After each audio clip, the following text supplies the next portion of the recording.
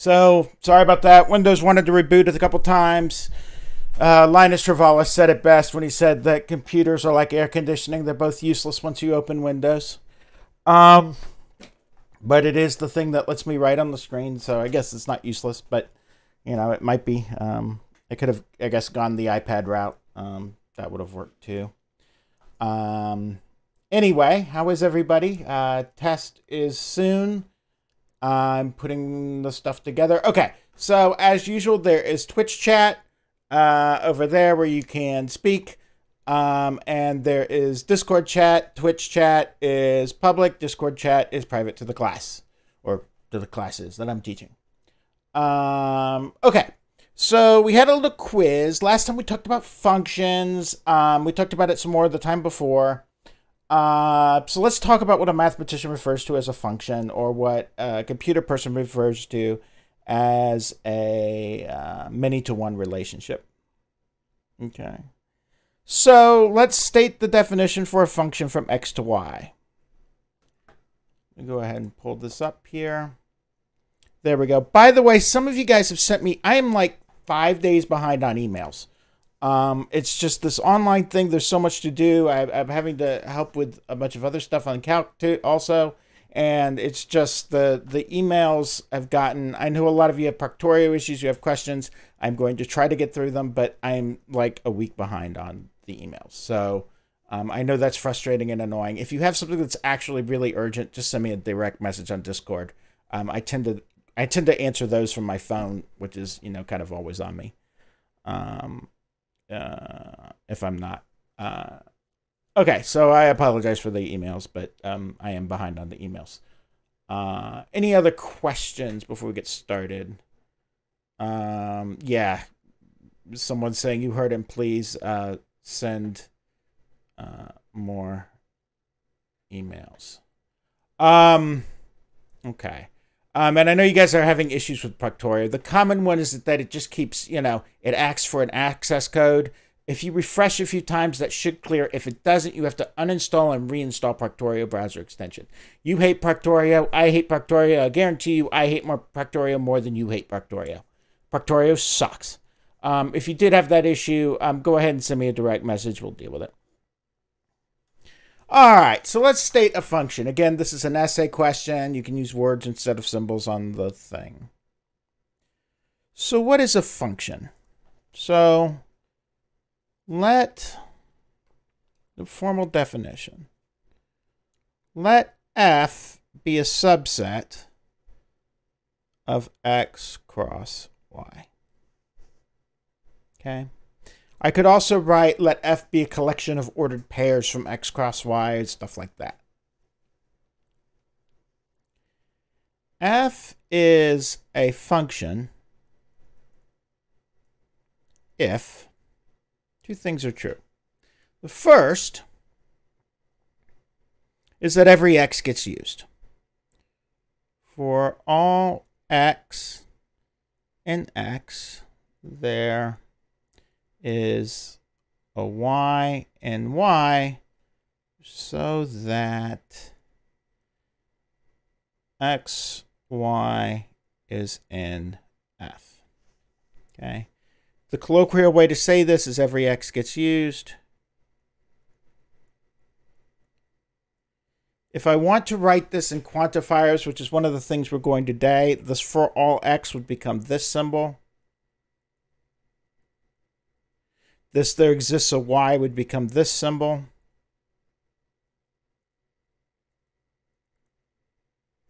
And then the predicate would become this.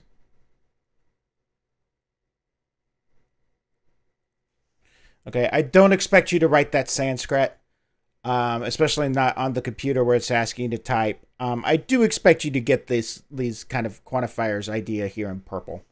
Um, it's more than just every x gets used, although that's the way to think of it. Um, it's for all x there is a y. Um, and the reason why we're going to do that is because we're going to talk about that today when we talk about quantifiers and negation. So the first step to actually making a statement something that a computer can understand, um, or that we can do logic tests on in a computer, is to actually formulate its uh, its quantified definition. Okay. The second thing says, so this is every x gets used, is no x gets used more than once. So for all pairs x1, x0, y0, x1, y1, uh, all distinct. Let's do all distinct pairs of points.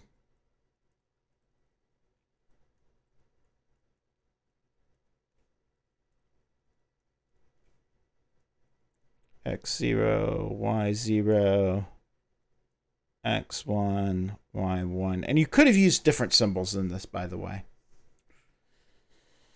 Um, x0 does not equal x1. Okay, the colloquial way to say this is no x is used more than once.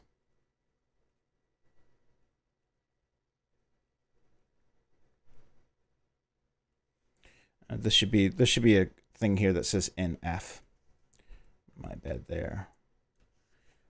x0 does not equal to x1. If I wanted to write this in quantifier notation, which is kind of a pain, I would do it like this. For all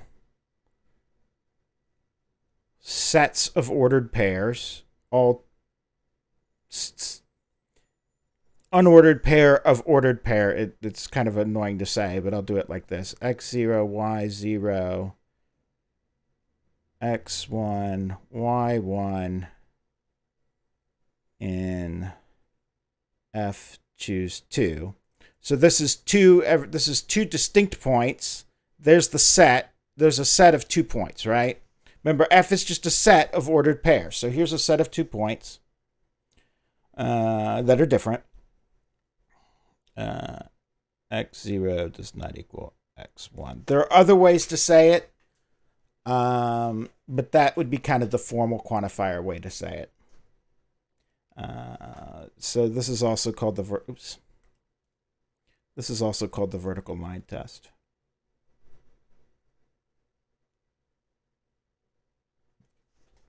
All right. So how do we feel about that? Um, how do we feel about that definition there, one to five?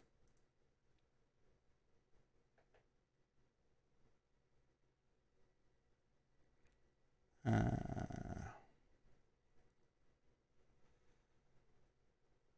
uh,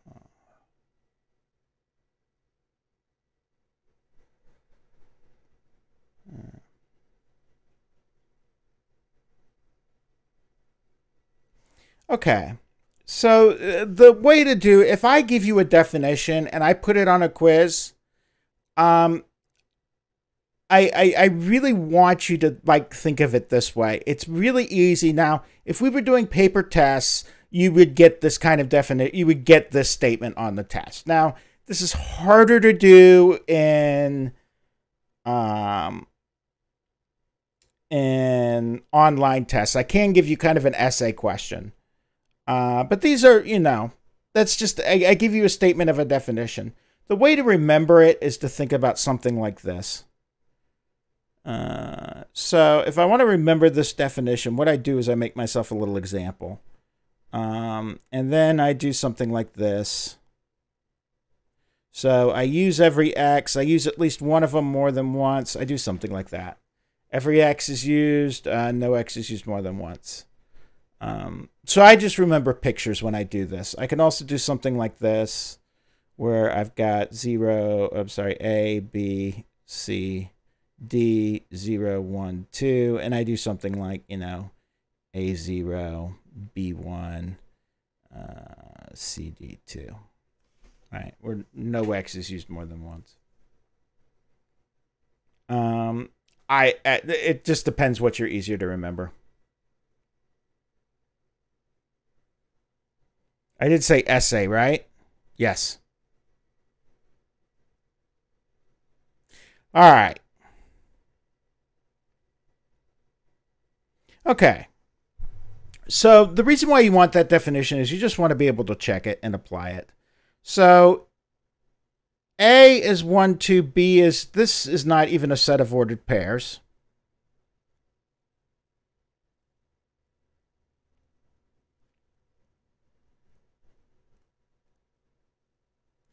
This one right here is good, right? I've used every X, A1, I've used 1 and 2, and I've used none more than once. And these are both elements of B. So that one's good. Here, I've used this one more than once.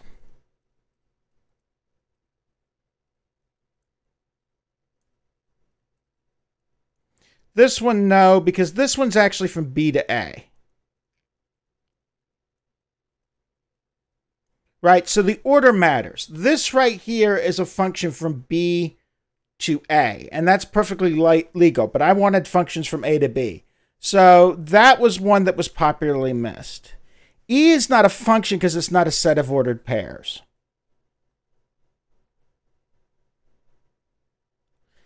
Epsilon here is a function, right? 1a, 2c. I used every x and I didn't use one, one once. That one's a function. 1b is not even a set of ordered pairs.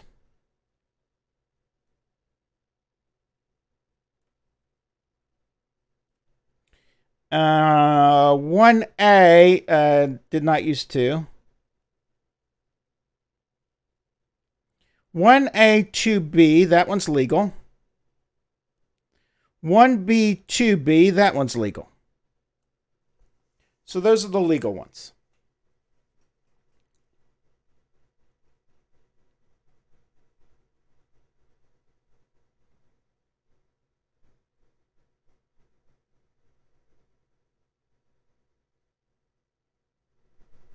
Okay. How do we feel about that question? One to five.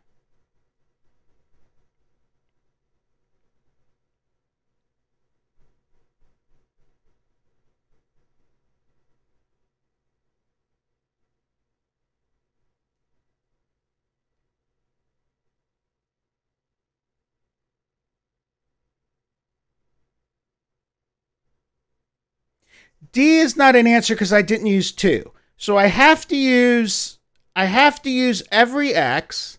Every X gets used and no X is used more than once.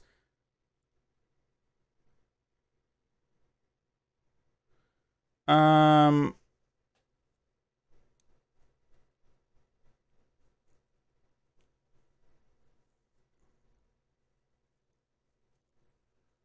Okay. All right. Are any questions about this? Um, these formal definitions things, the first time you try to do it, they're very difficult. Um, so, you know, but they, they get easier. Um, you just have to keep practicing and making sure it misses. And you kind of just need to treat it like a checkbox, right? Um, ordered pairs so that this is true and that is true. Um, so.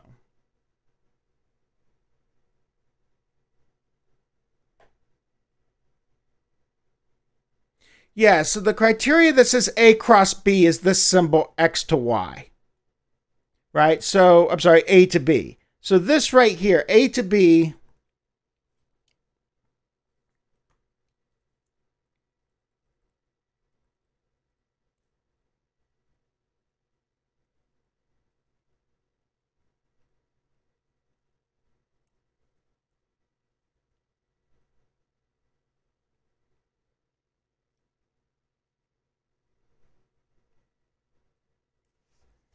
That's what that means. Um, so the function is a subset of A cross B, right? So this also says that F is a subset of A cross B. And if you think of functions um, in terms of just as sets of ordered pairs, they're actually a little bit easier to think of. Um, or it's a different perspective on them, so it makes them somewhat easier. Okay.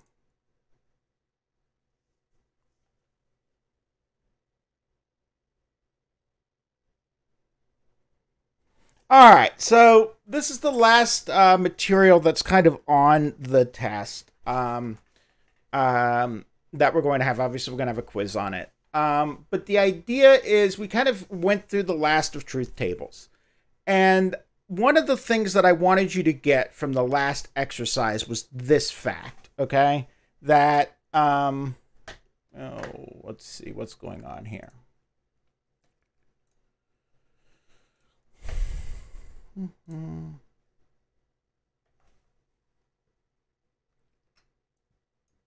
Let's move Lewis, Lewis Carroll De Morgan over a little bit so we've got more room.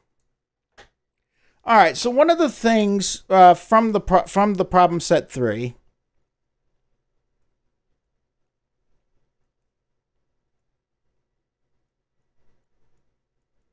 is you needed this. You needed to understand this idea that P implies Q is logically equivalent to Q or not P. Okay? And when you did the truth tables for this, you got this kind of. So this thing right here, this is something a computer can't deal with. There's no, I mean, yes, you could program a logic gate for it. That's basically what you're doing. But the computer doesn't know really what to do with this in most languages. But it does know what to do th- with this here. Okay? So I can write, so this right here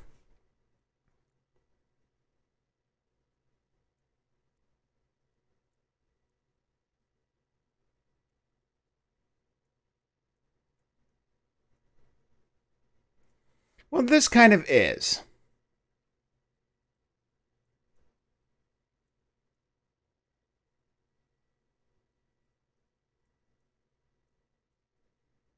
So if I want to write procedures that check these conditionals, I need to write it like this.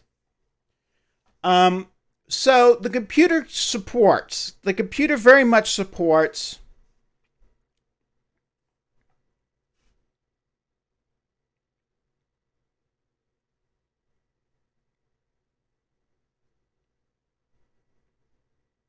um, the following. They really support um, and, which, you know, you can see is this. And in PHP, and is written like uh, it's double ampersand. Um, or, uh, which is the wedge up. And that's uh, in PHP, that's the double bar and not. And in PHP, it doesn't do not. Uh, so not in this thing or the bang. Okay. So, and then the computer can also support the statement for every. And uh, in PHP, it'd be a for each statement. So for every X in uh, A would be for each uh, A as X. So these are kind of the things that the computer, I mean, the computer really doesn't support this as a quantifier, but you can make the equivalent statements. So we need to be able to convert things with implications to things that look like this.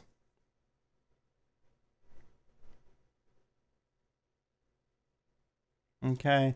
And that's the idea behind doing these truth tables. So that was what you were supposed to get from from the last kind of uh, the last uh, programming assignment and the last uh, uh uh, this should be a hard wedge, by the way, a hard caret. Um, that was the sort of thing you were supposed to get from the um, from the programming assignment. So, how do we feel about this concept one to five? That these are the things that I can just really program into a computer. Um, right, and that's kind of the point to talking about them. Okay. So what we want to do is we want to kind of finish this off. And the way that we finish this off is we need to talk about formal quantifiers because there are two. There's there exists and for every. And the computer really doesn't support there exists very well. And then there's um, the idea of what happens when we run negation through things. And this has an implication for sets as well. Okay? So let's ask the question what happens when I negate something? Okay. If I say, um,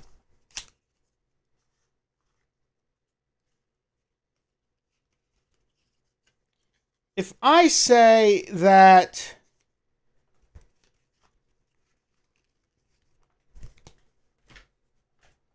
this card is the queen, and this card, oops, I'm hitting the mic. This card is a queen and this card is a 10. What is the negation of that statement? If I'm saying that I have a queen and a 10, what would I do to negate that? Okay? So let's let P be the statement.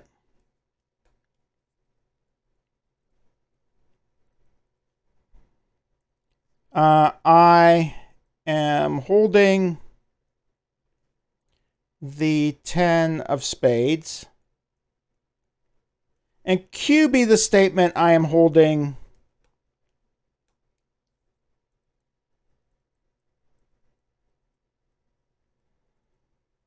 the Queen of Hearts. Okay? So now, if I want to say I'm not holding the Ten of Spades and the Queen of Hearts, okay? So if I want to say, so P and Q would be what statement?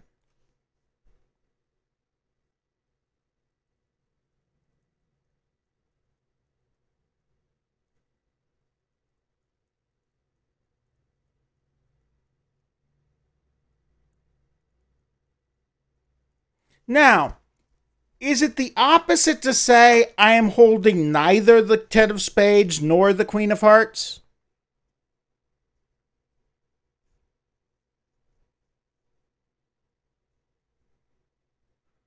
Okay. So what I want to do is I want to negate this statement.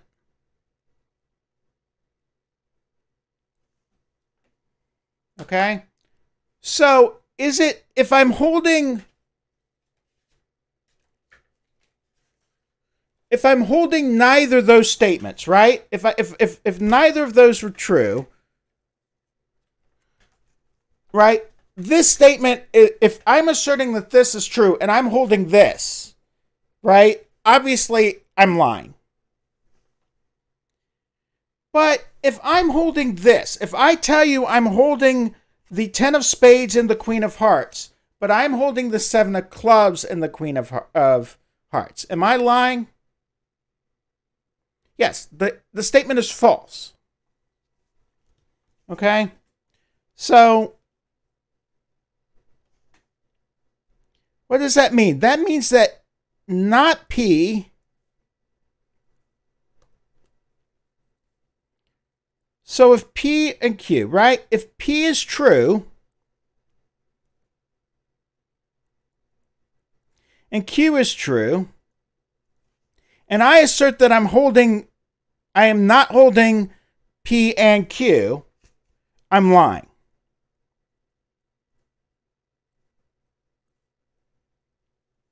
But if P is true and Q is false, well, then what I've actually said, not P and Q, right? I'm not holding both the Ten of Spades and Queen of Hearts, right? I'm only holding one of them.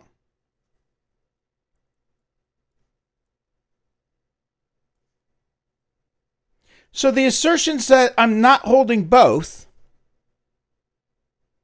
is true if I'm not holding one of them.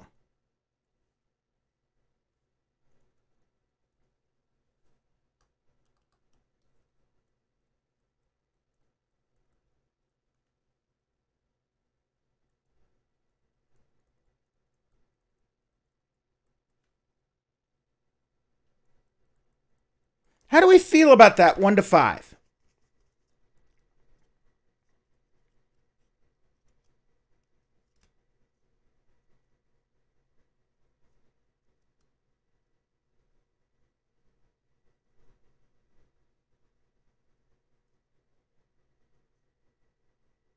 Now, let's flip this on the head. Let's say instead P or Q.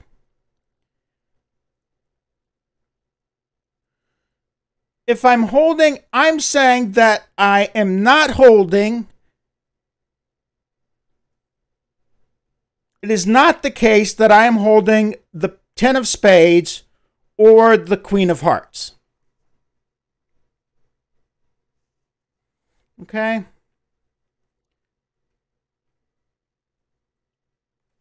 So P or Q, if I'm holding either of them,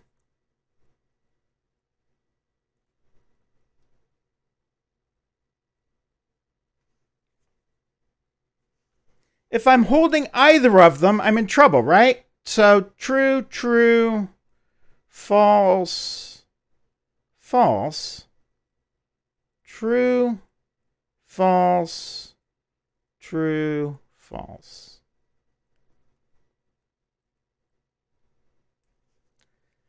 All right, so if I'm holding either one of them, this is true, making this false. If I'm holding either one of them,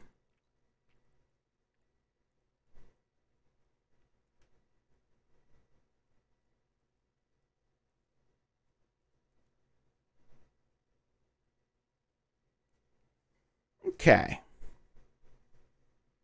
No, I'm not on quantifier yet. I'm not doing quantifiers yet. I'm going to get to quantifiers in a minute. All right, so let's do the other portion of this truth table. Well, what I want to do, this is true, right? This statement is false only if I'm holding both.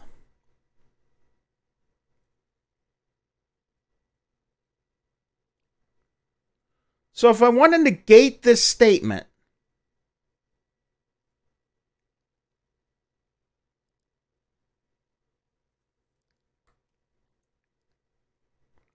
what I'm going to do is I'm going to do this. Right? So I've got P is true, so not P is false.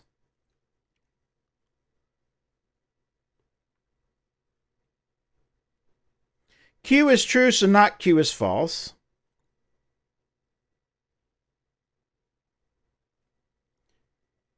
And now what I've done is I've got not Q or not P. Well, both of these are false. That makes that false. One of these is true, so this is now true. This one's now true. And this one's now true. And now these two columns match.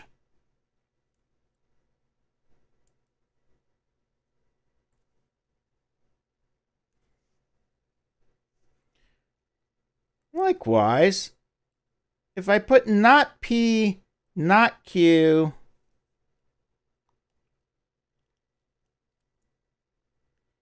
here, and then I do not um, P and not Q,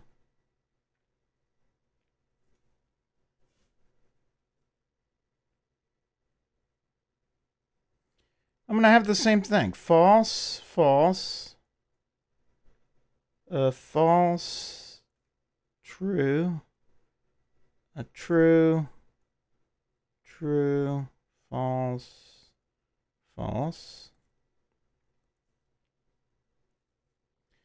And so, and here is false, and here is false, and here is false, and here is true. Uh, I screwed that up. How did I, that one should be true.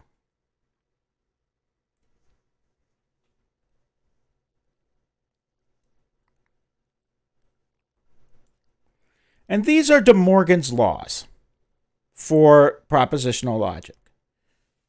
Okay?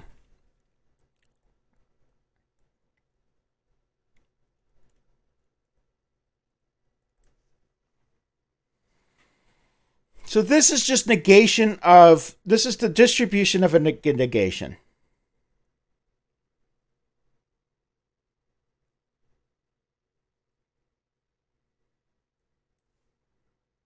All right, so I've got not P and Q is logically equivalent. Did I use the, the triple equal signs? What did I use last time for logically equivalent? Uh, did I use the double arrow? They both mean the same thing. I'm trying to. I used the the triple equal sign. Okay. Um, so this is logically equivalent to triple equal sign is what I used um, to not P or not Q. And the other one is that not P or Q is the same thing as not P and not Q. How do we feel about that 1 to 5?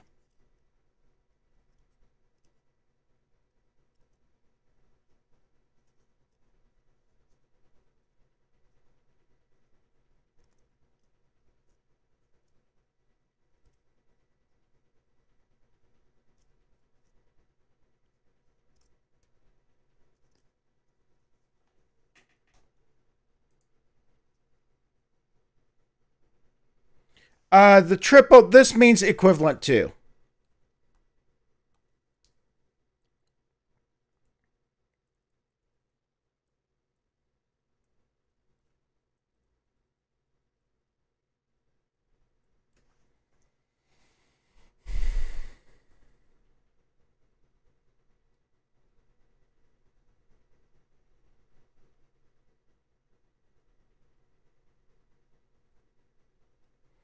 All right, so quantifiers.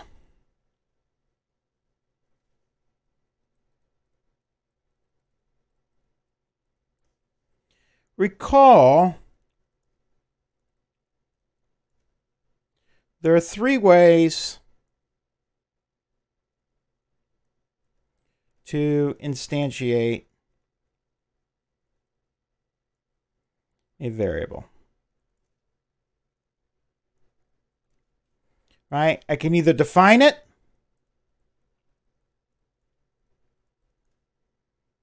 right? For example, x is defined as 2. Okay.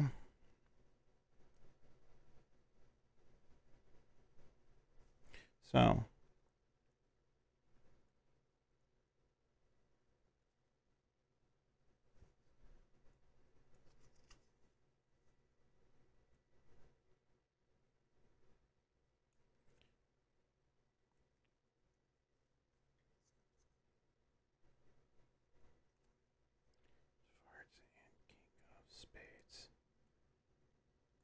So if I'm I'm not holding the ace of hearts and king of spades is logically equivalent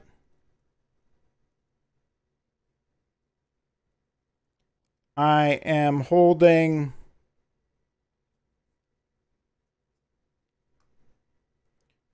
to not holding is logically equivalent to I am not holding the ace of hearts or I am not holding the king of spades. Yes.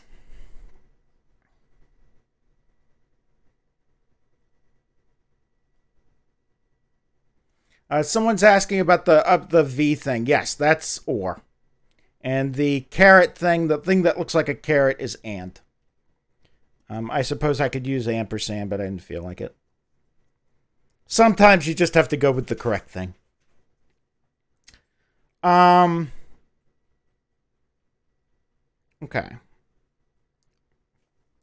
So now, let's see. I could say for every, and these are the quantifiers.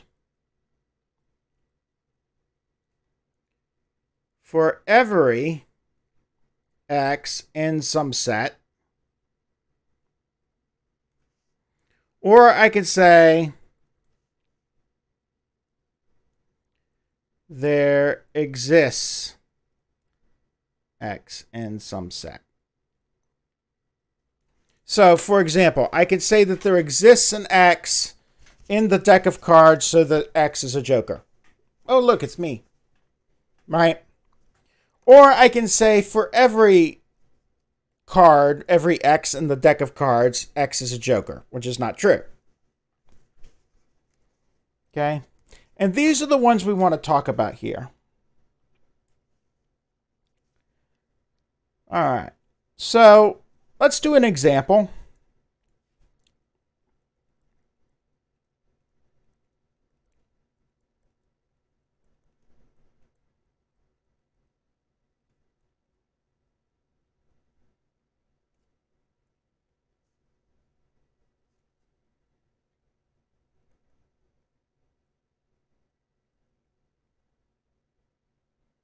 So if I say every card in the deck is a heart, okay? How do you say not every every card in the deck is a card? Uh, what is the word in the quotation marks before instantiate or create or whatever? Um, initialize might have been a better word. I think I used initialize in the end. Sorry.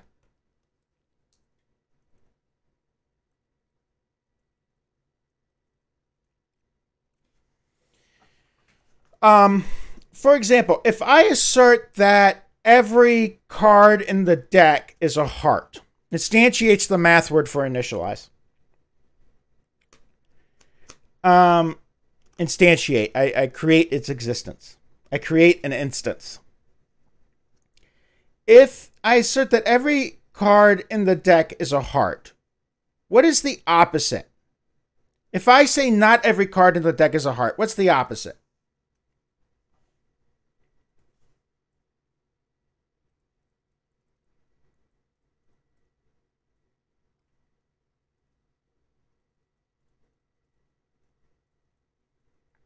Is it that there are no cards in the deck that are hearts? Am I saying every card is a spade? If I tell you that every card in the deck is a heart, how do you call me a liar? It's not that no cards in the deck are a heart, right? What is the negation? If I say to you every card in the deck is a heart and we have to settle this bet, what do you have to come up with?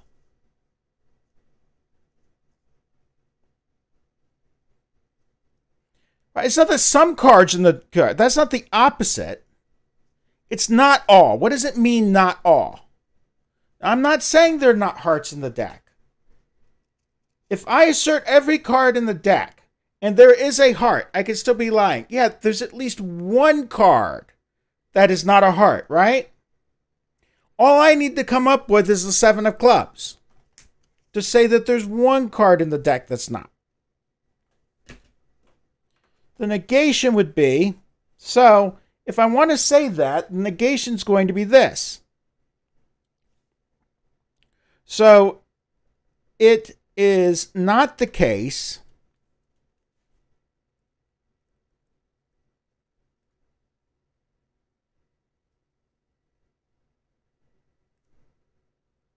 I should just say not every card in the deck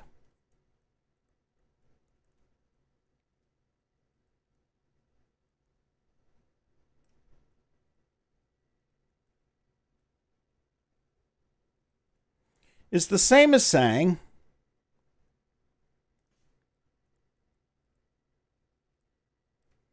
there exists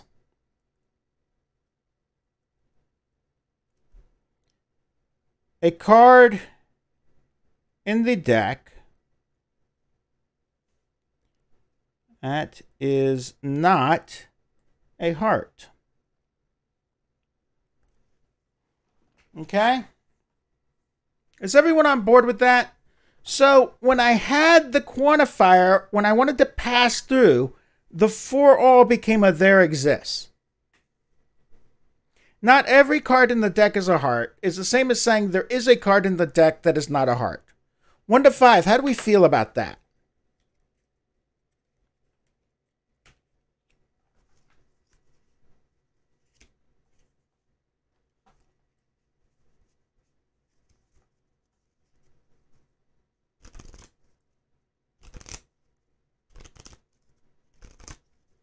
Okay.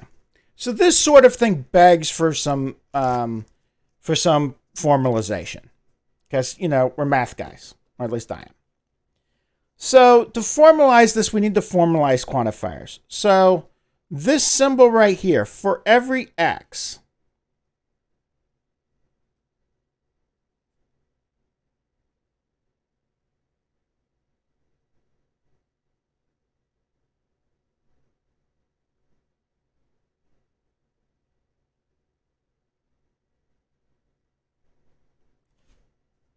Okay. And then there's another one. There exists an X in A.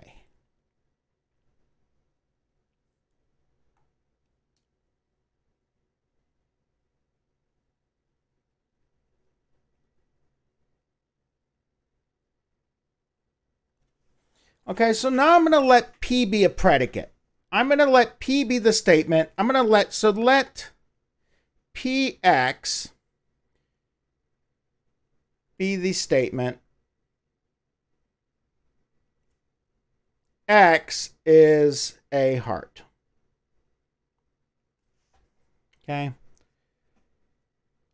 And it's not a function. A lot of books write it like this to make it look like a function, but it's not actually a function. It's the predicate P is a statement about subject X. Okay? PX, the the or X has property P. Property P being is a heart. Okay? If I want to say not for all x in whatever cards, px, what I say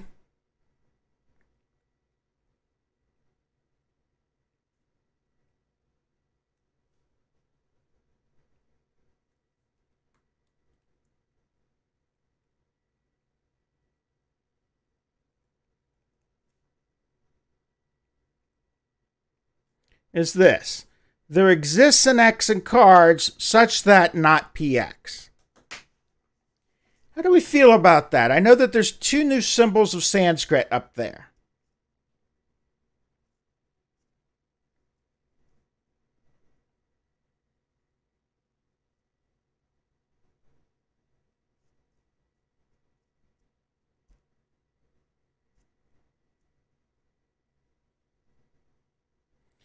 If I want to say, so this symbol, so PX is the statement X is a heart. If I want to say it is not the case that for all X in cards, X is a heart, I say that there exists an X in cards so that X is not a heart.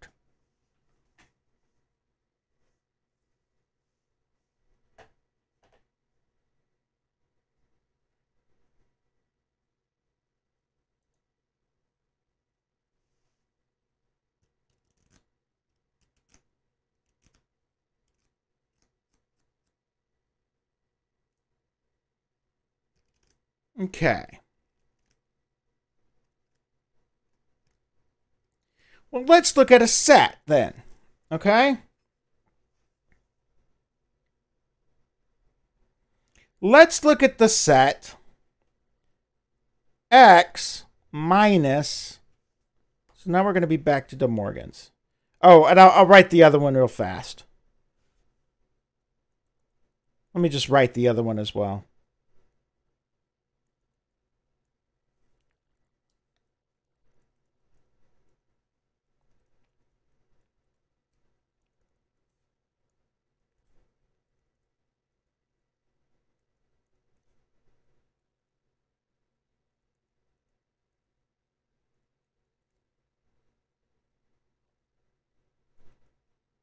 So the point is that whenever I pass a negation, I flip a quantifier.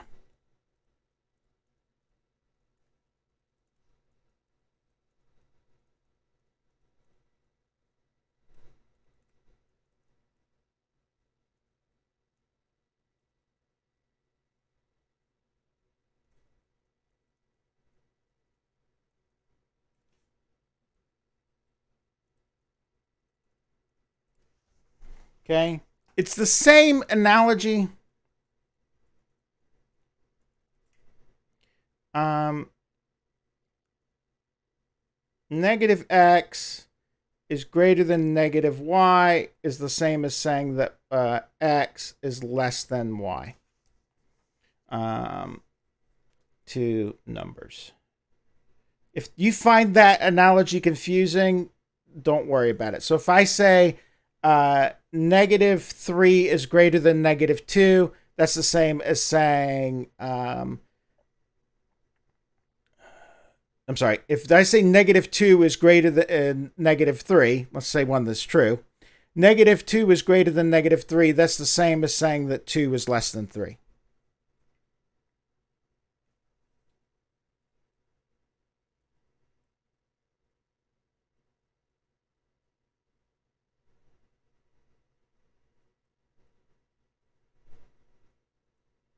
You can think of it that way.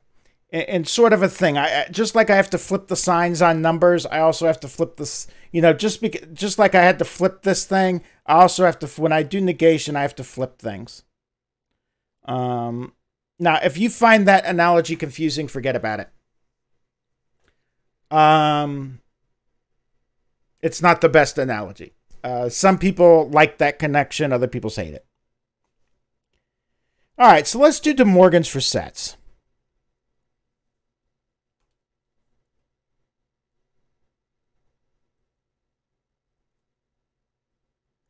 And it follows the same thing, right? Consider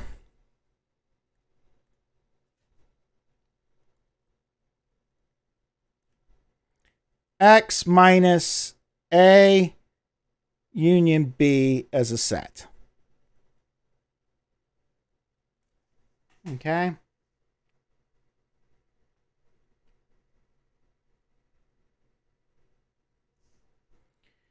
If x is in little x is in x minus a union b, then what is true about little x?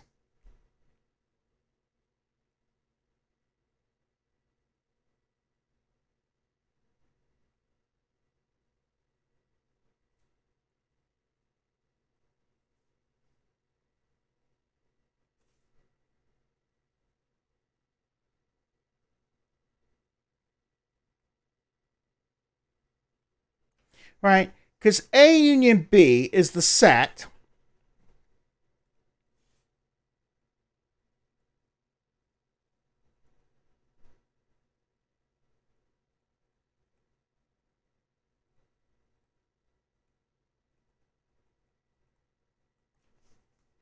Okay, so how do we feel about that? Just just the setup here.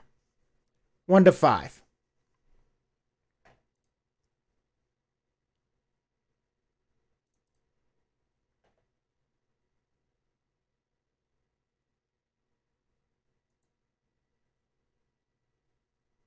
So what I'm actually saying is that for every x in x minus a union b,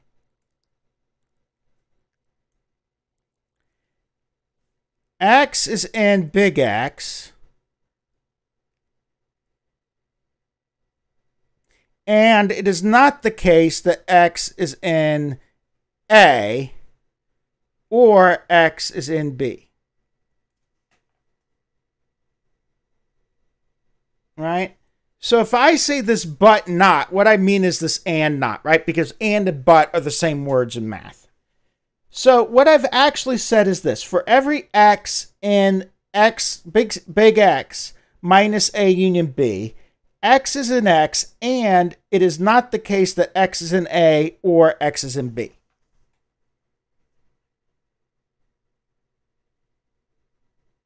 Well, okay, let's make it worse.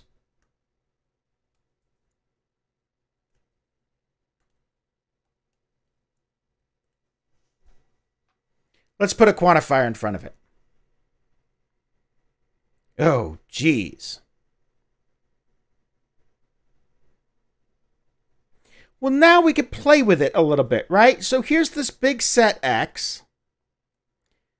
Um, um, you know, drawing the big set X right behind my head. So here's A, here's B, and there's this giant set X. And what I've said is that I'm in X, but I'm not X. Little x is not. I, I, I can't do this anymore. Um, let's do the set U. Everybody erase that big X because now it's confusing even me. It looks fine when you type it because it's clear which one's which. Uh, we'll do a big U. Sorry about that. Now it's confusing even me. Okay, so where is X here? If X is in U minus A union B, that means X is not here, X is not here, X is not there, but X is out here.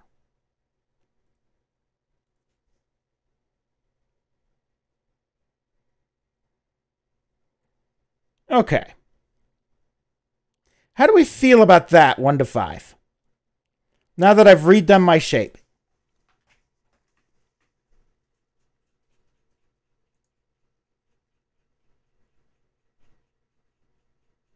Okay, well, I can't make everything work. Uh, U is now like the other sign. What do you want me to use?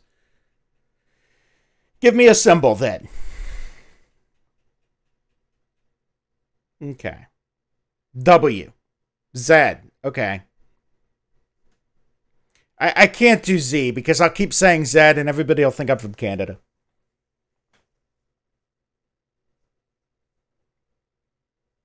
Okay. Well, now what I want to say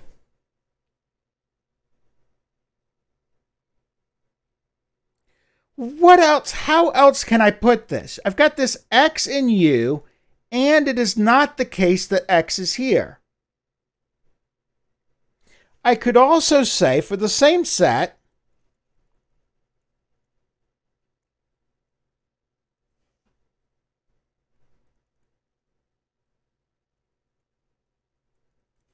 I could say the following. For all x in u minus a cup b, I could say x is in u and, and then distribute this quantifier. It is not the case that x is in a, and it is not the case that x is in b.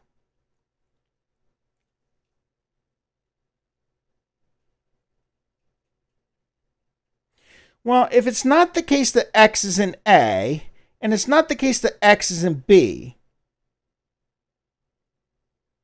and it's the case that X is in U,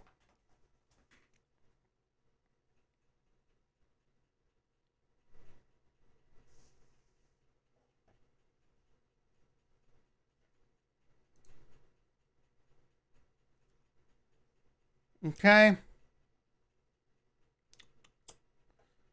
Just checking the both of them here. All right.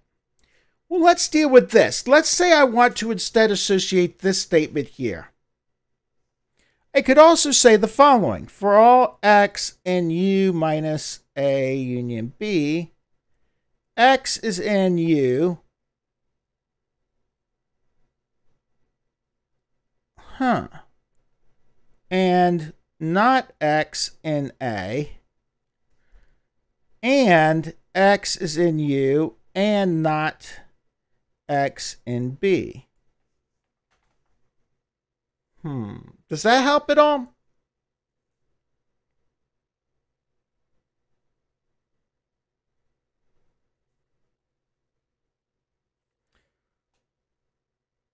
Or I could say for all x in u minus a union b, x is in u, not that. So I could say this right here is actually the intersection.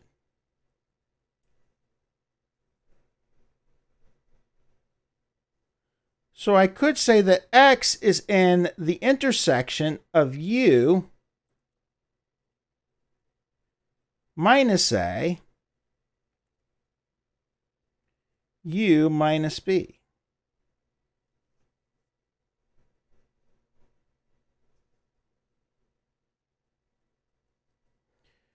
Which is the same thing as saying that u minus a union b equals and here's the punchline.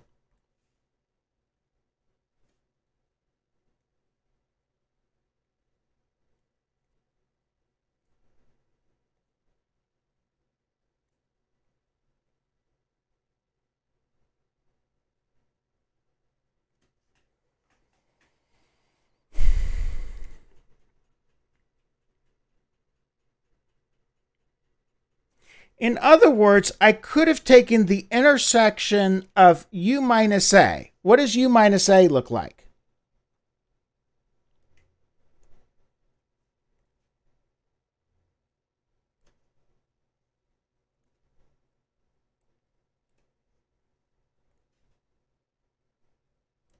So I could have taken this right here as u minus a.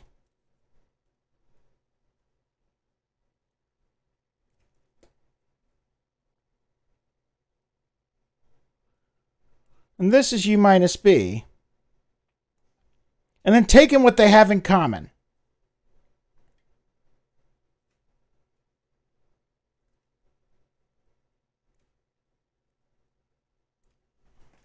Well, what do they have in common? They have in common this set here. Because this set has nothing in A, this set has nothing in B, and what I'm left with is this set here, right? I'm left with everything that's not in A that is also in everything not in B. How do we feel about that 1 to 5? No, I'm left with more than you. I'm left with the intersection of them.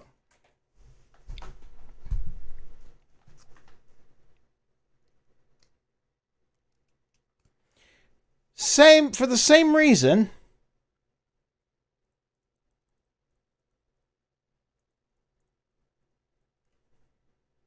Okay. U minus A cap B equals u minus a union u minus b. Here I have said that x is in u, but not both a and b. And here I have said x is in U, but not A. Or X is in U, but not B.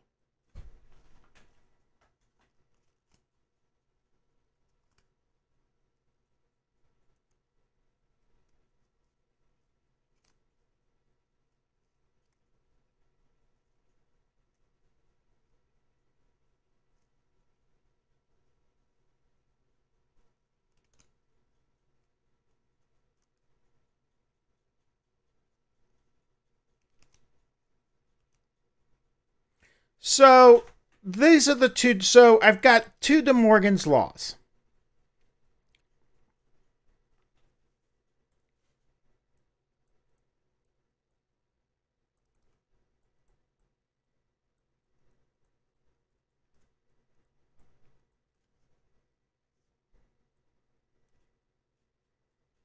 For each, okay? I've got two sets of De Morgan's law. I've got a logic version and a set version.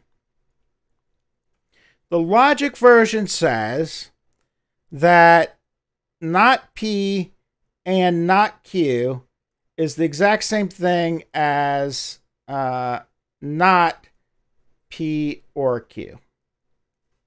I've got the law that not P or not Q is the exact same thing as not P and Q. And then I've got the set laws u minus a cap b is the exact same thing equals u minus a union u minus b.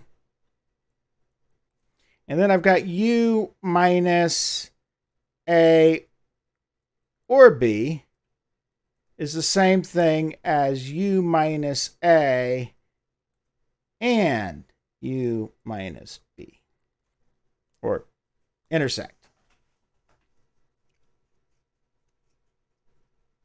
That's a G. And those are called De Morgan's laws, and they're named after this guy. Augustus de Morgan. And then I've got negating quantifiers.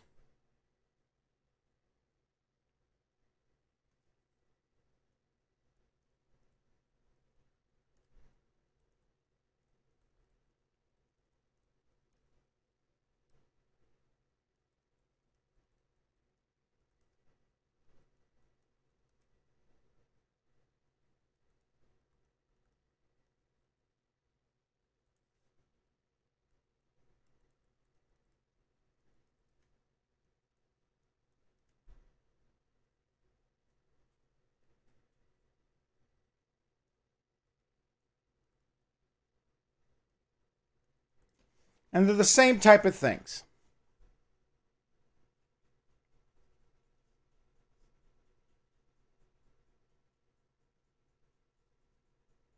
Okay, so how do we feel about the summary of this proper these properties?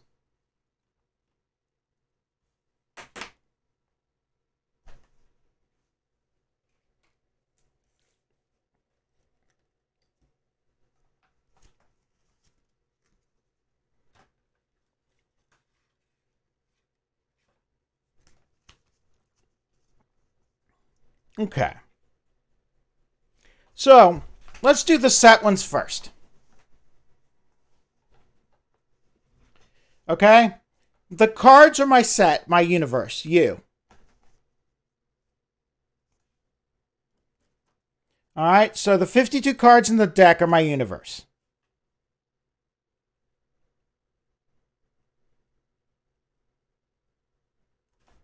Okay? Now, A equals the face cards. B equals the clubs.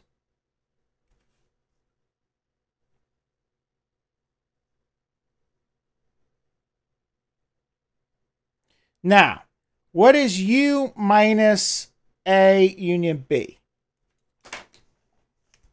I want A union B is what?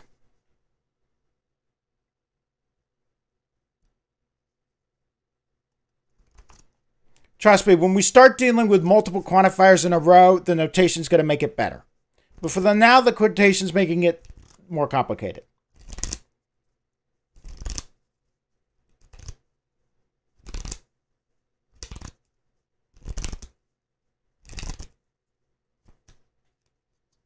Okay, so right. So what is union? What is universe minus the cards minus the face cards union the clubs? So this is what? Uh, if X is in that set, then so this is the set of all cards that are neither face cards nor clubs.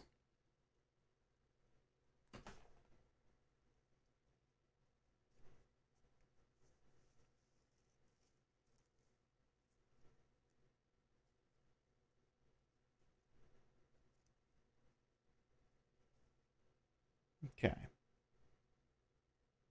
How do we feel about that? One to five. That this the cards minus the face cards, union the clubs, is every card that is neither a face card nor a club.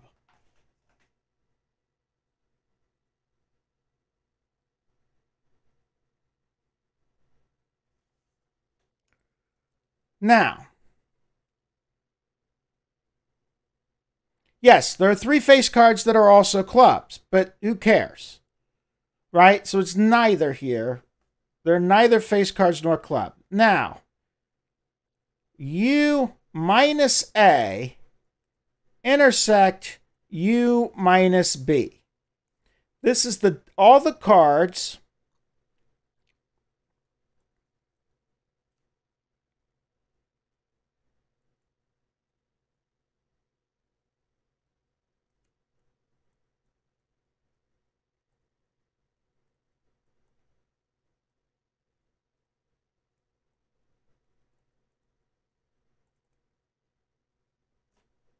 right? UA, X is not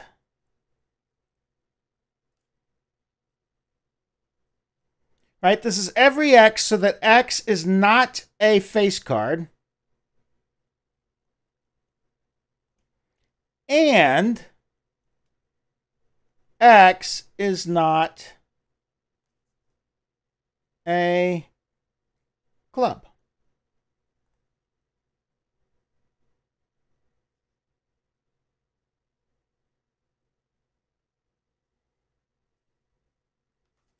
How do we feel about that?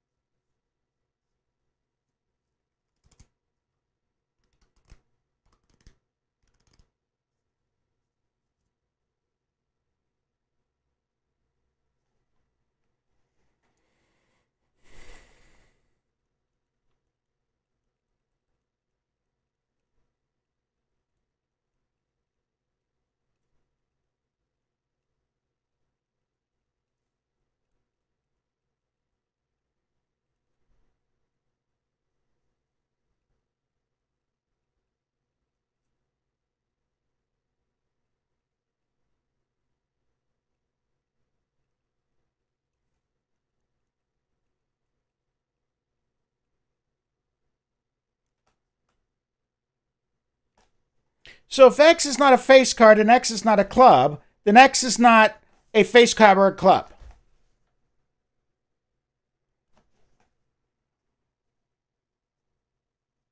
How do we feel about that? One to five.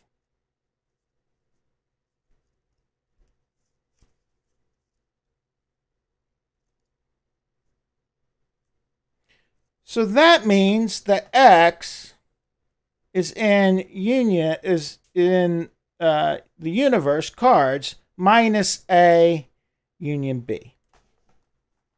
And that's the example for De Morgans.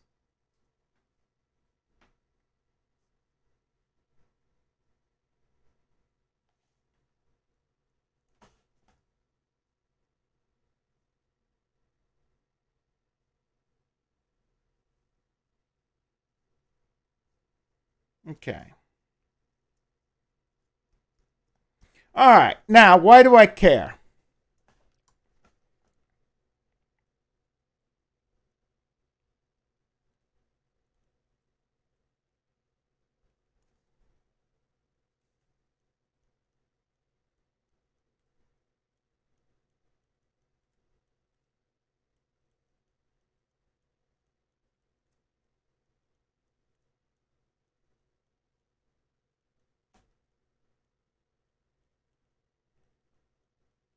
Suppose we take a statement with multiple quantifiers. Let's do the following statement. The limit as uh, as x goes to a of f of x equals L if for every x in for every epsilon greater than 0 Oops, I'm doing my epsilons the wrong way. For every epsilon, I can't write today. For every epsilon greater than zero, there exists delta greater than zero so that, let's do just the left-hand side. For every x in the set A minus delta A.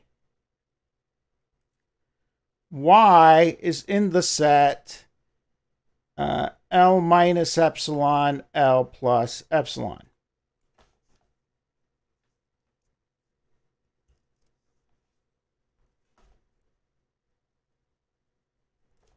What? Okay, so this is the definition of a limit from calculus. Exactly. What the heck is this? I don't care. For the context of this class, I actually don't care. My question is how do I negate it?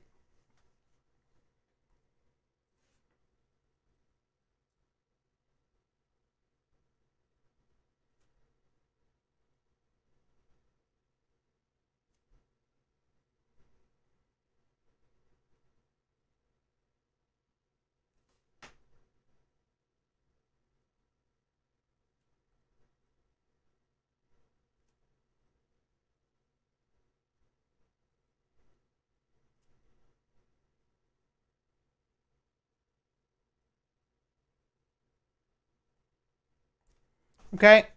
I don't actually care. Um, did I do that right? Epsilon is. I don't know why my brain isn't working on this stuff today. No, that's epsilon. Okay.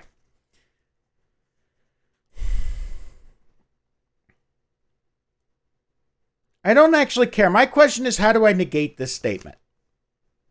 And in fact, I'm actually glad that you don't know what this means. Okay? I don't want you to know what this means because what I want is a formulaic way to negate it. Okay? So, what I want you to do is I want you to tell me what's the opposite of this statement. How do I say that the limit is x? Because this might be something that I want to program something to check. Well, what I'm going to do is I'm going to say this right here.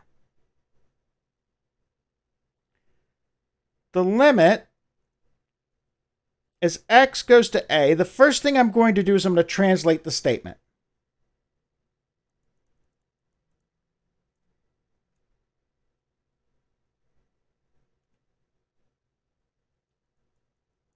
Right, this is the logical equivalency thing. I'm going to go for every epsilon greater than 0, there exists a delta greater than 0, so that for all x in a minus delta a, y, or I should say f of x, f of x is in L minus epsilon L plus epsilon. Now, negation. That means that this is not true.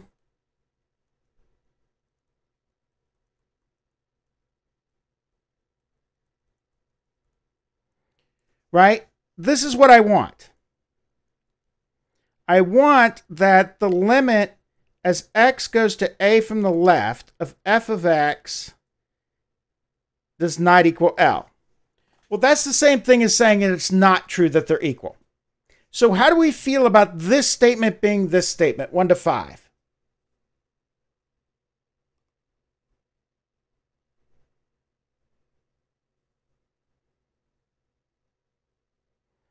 If two things are not e- if two things are not equal, then it is not the case that they are equal.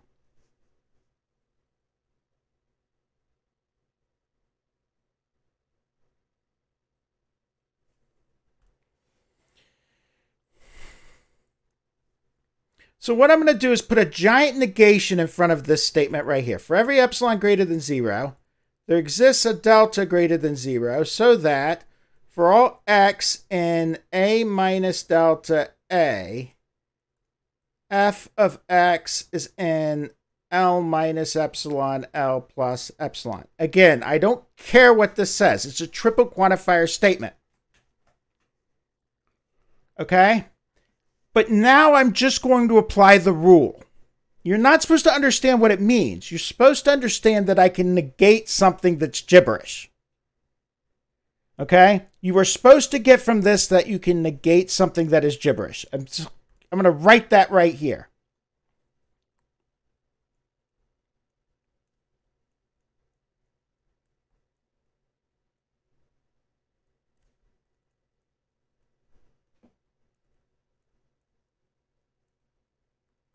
You can negate something that is gibberish. I don't actually care what it says.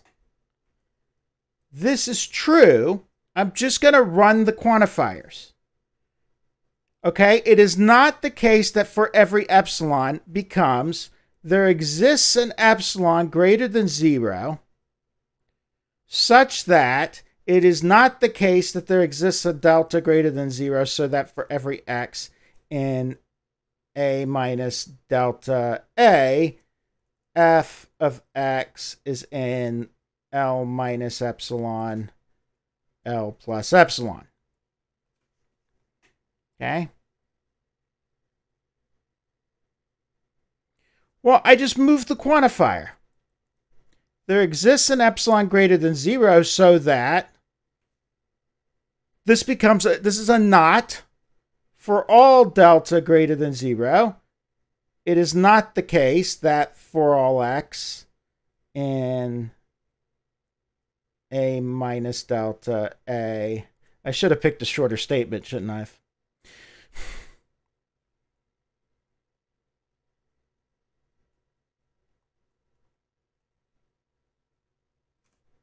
One, two, three, four, four. One, two, three. One, two, that one open there, that one closed that one, so I'm one, two, close, close. Okay. Well, that's the same thing as saying there exists an epsilon greater than zero, so that for all delta greater than zero, there exists an x in a minus delta a, so that f of x is not in L minus epsilon L plus epsilon. And I just negated the statement. This here is the same thing as this, and I didn't need to know what it was. In other words, if I took the statement not for every x in A, for every exists an x and B, so that for every, uh, let's see, I'll do this here. For every A and A, there exists a B and B, so that for every C and C,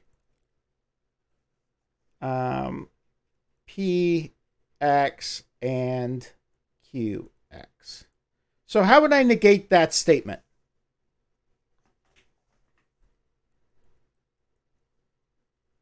I just pass the quantifier through. All right, so I just do, okay, this becomes there exists an A and A so that for all B and B, there exists a C and C so that uh, not px add qx, which is the exact same thing as saying there exists an a and a for all b and b. Uh, this should actually be an uh, let's make this an A and let, let's make this a B. Let's make this an A and let's make this a B. Uh, there exists a C and C. Technically, I should actually use the C, but I didn't.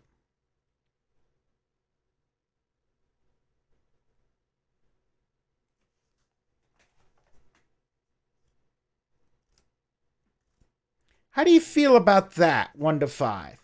All I have to do when I want to negate a quantifier, a quantified statement, all, all I have to do is translate it into quantifiers.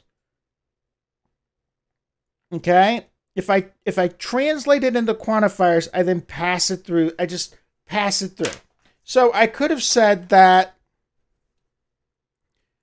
for every suit in the deck, there exists a king in the suit so that the king uh, there exists a face card. In the suit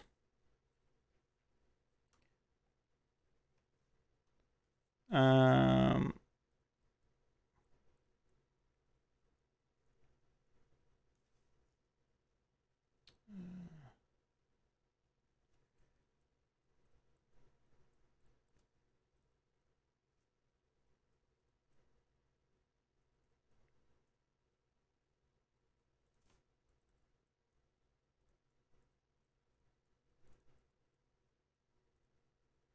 Okay, so here's an example from just this one. For every suit in the... I'm out of time. I'm way out of time. Okay, so I still haven't figured out how to teach this subject here. Uh, but I'll try it again. For every suit in the deck, there exists a face card in the suit so that for every weapon in that card's drawing, the weapon is a sword. So I take my deck of cards that I flip through here. Uh, the Queen of Spades in this one is holding a Margaret. It is holding a strawberry daiquiri. Um, I don't think this is actually going to work for a deck of cards. Um,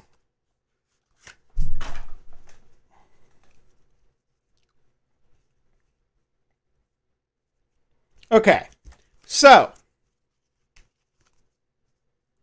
For every suit in the deck, there exists a face card in the suit, so that for every weapon in that card's drawing, the weapon is a sword.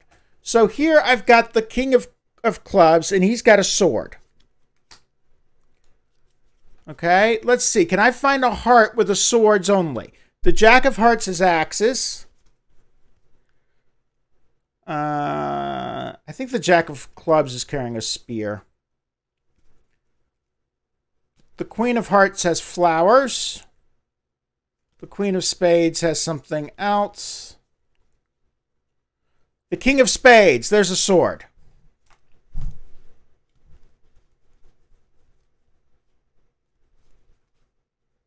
The King of Hearts has a sword. What's the King of Diamonds carrying? Up, the King of Diamonds has an axe. So it's not true. Right? Why is it not true? Well, because while the kings of hearts, clubs, and spades have swords, the the the the diamonds cards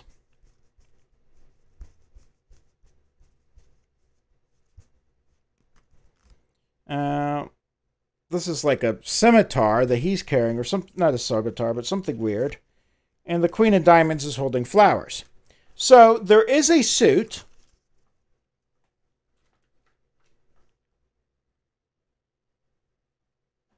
Negation.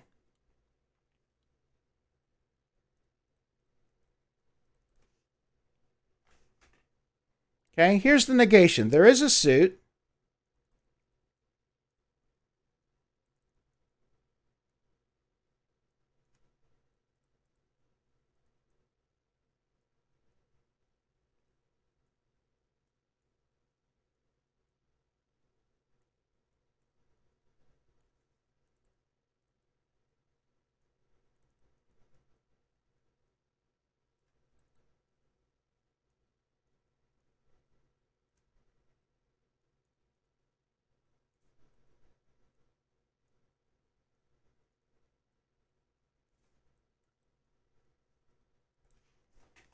Okay. How do we feel about that? One to five. And then I promise I'm done. The point is that I can take extremely complicated statements and negate them by simply switching the quantifiers. All right.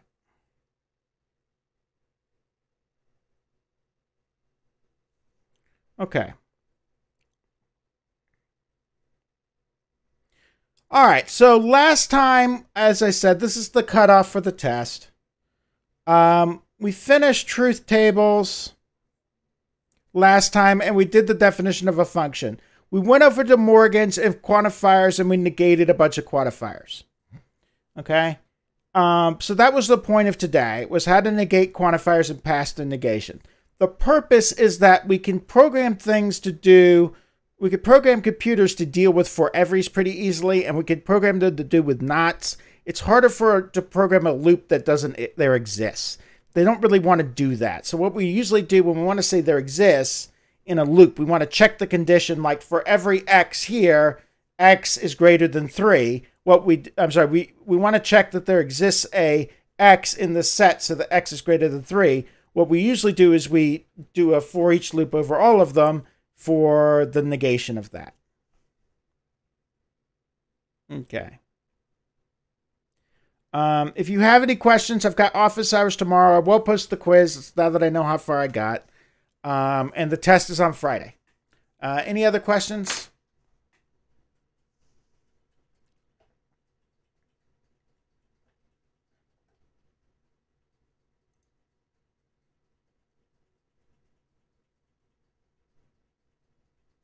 Okay. All right, so that's all I've got for today. Um, uh, sorry for going a little bit over. Um, it's almost five now, so I was supposed to end at 4:45. Um, and I will talk to you guys later.